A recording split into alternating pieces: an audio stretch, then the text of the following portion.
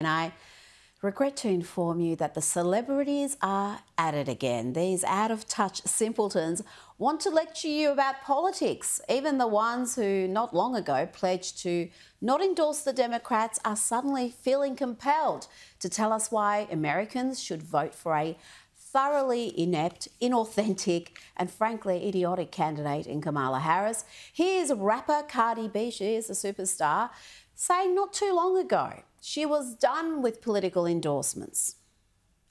I'm not endorsing no presidents no more because we could fund two wars. We could fund two wars. Is talking about we don't got it, but we got it. Like we're the greatest nation. No, the we're not. We're going through some right now.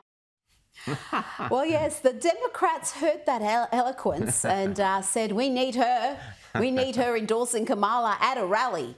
And that happened uh, earlier today, only there was a little mishap with Cardi B's teleprompter, so we got this instead. One second, guys, one second.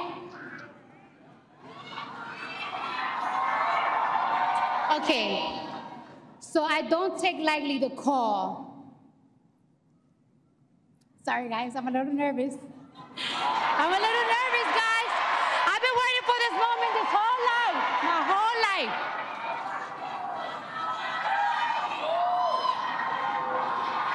I need patience over here. Patience, where are you, girl? I need patience over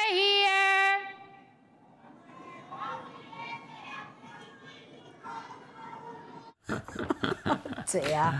Yes, it was a disaster until someone ran on stage with a mobile phone with the words she was supposed to read out. Uh, yeah, that performance was about as authentic as Kamala.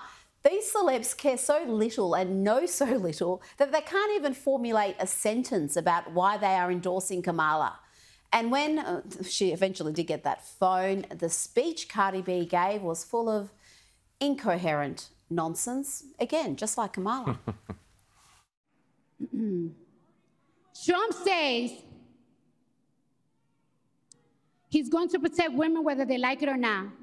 Well, if his, if his definition of protection is not the freedom of choice, you know, that question has to be asked why do the Dems so desperately want the endorsement of a Cardi B, a woman who bragged about drugging and rob robbing men? Yes, that's really a BBC article about her drugging and uh, robbing men during her days as a stripper.